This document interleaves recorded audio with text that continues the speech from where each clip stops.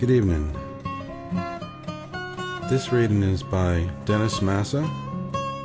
It is from the book entitled The Mark by Maurice Nicoll.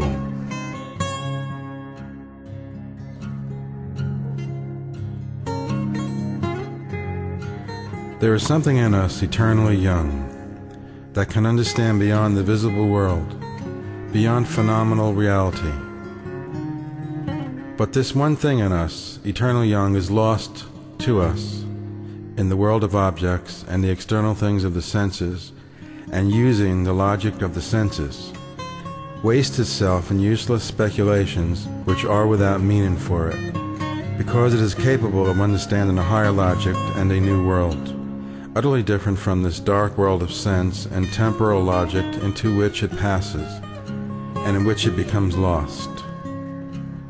This magical side of ourselves, which in childhood we feel, is destroyed by life and remains only as a memory, dimly felt at moments, recalling for a fleeting instant something that we knew once and possessed and which has gone out of our lives. It is this, this one in us, that we must find again. For it is about this absent part of ourselves, which is lost, that all these parables are speaking about. Its real destiny is to be taken out of life, withdrawn from the power of outer things and outer events. In this way, a man is made alive again. For as we are in our present state, in which this one is lost, we are all living in the wrong way however we desire to do good and however we act.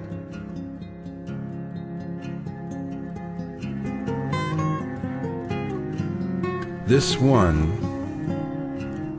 has lost his true connection, and as long as this is the case with a man, he has not reached his right state, from which his own evolution can begin.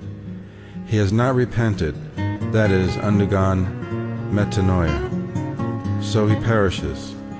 And as long as this one thing in him is lost, all he does is wrong. For when a man is overpowered by outer life and influenced only by all that acts upon him from outside, and argues only from what he can see, he is machine driven by his senses and internally the wrong way around. He is dominated by external life and has no life in himself. That part of him which is truly himself, and from which his own individual existence and growth can begin, is lost. It is in the wrong place, and this is sin.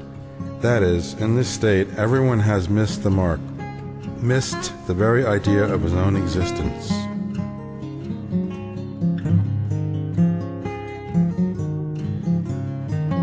And people often feel something of this for themselves and know that by feeling too strongly or being over anxious about things, or always upset and worried and at the mercy of life, they are doing wrong in some indefinable way, which has nothing to do with morality or moral wrong, and that they should not let life have such power over them, and that by doing so they are guilty of some crime which they feel instinctively and do not understand. And they do not realize that all through the Gospels it is precisely this wrong state of a man that is being spoken of, and that in view of it, nothing else is of importance. And that a man realizes that he is in this state and begins to seek for that part of him which is lost in things that do not matter and do not belong to it, and draws back in himself and begins to alter his relation to life, he has failed his purpose and has not understood the secret of his existence. People think the Gospels are about eternal life and about a moral relation to the external life, and they do not see they are about man and his possible rebirth. In nearly every sentence, they are speaking about man's inner state, about the wrong state he is in, and how this state must be changed. They speak not about external life or outer morality, but about man himself and the condition he is in within himself in life. They do not speak about a man as being simply good or moral, but about a man's actually changing and becoming a different man. This is their whole message that a man can and must change in himself and become a different person. however good or bad he is in life, and the first step is metanoia.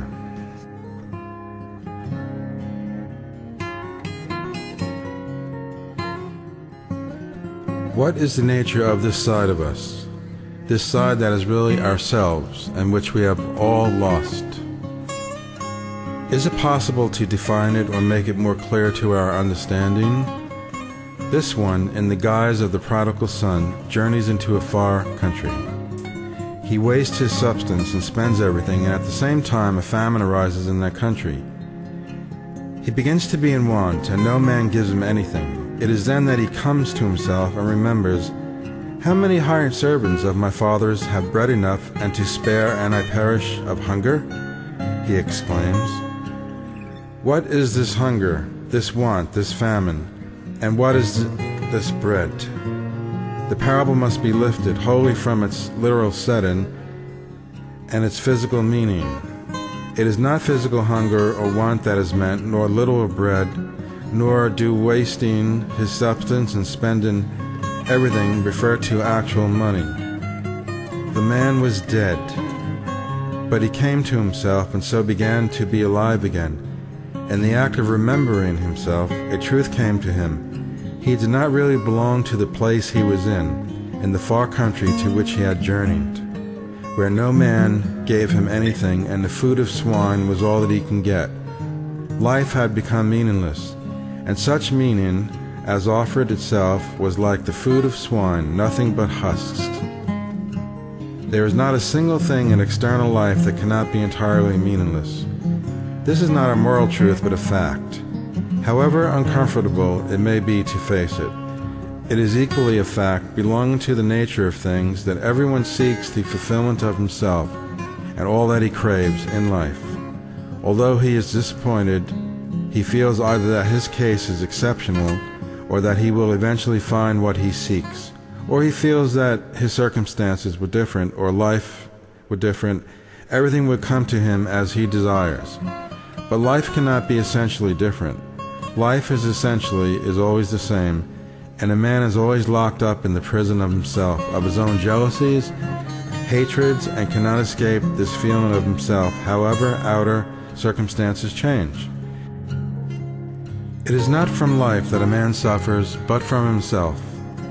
As long as he sees all he needs and all he desires as outside him, and strives to reach it in this way, he wastes meaning and eventually reaches famine in spite of the greatest riches he may have gained. And as long as he feels that what is himself consists in all this, he sins. That is, he misses altogether what a man is meant to do and can become. He misses the mark. He is no longer distinct from his senses and their images of life. He has forgotten himself and is once more a man lost or dead. But if he remembers anything, he knows that the state of consciousness he experienced is the secret of life, and that if he could find it again and keep it, nothing else would matter.